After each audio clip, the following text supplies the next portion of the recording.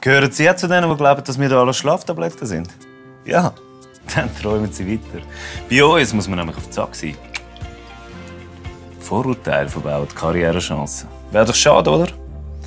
Darum meine Empfehlung, hineinschauen und sich selber ein Bild machen.